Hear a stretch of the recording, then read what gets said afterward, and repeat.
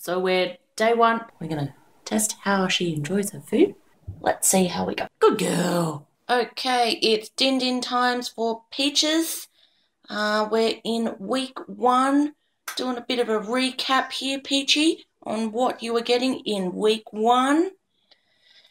And we've got our wet food, uh, which is new to Peaches.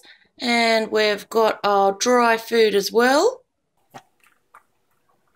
And it seems to be going down a trend. Time to check if there are any scraps left that she might have left behind.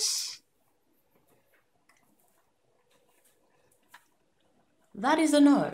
All eaten up. Enjoying it.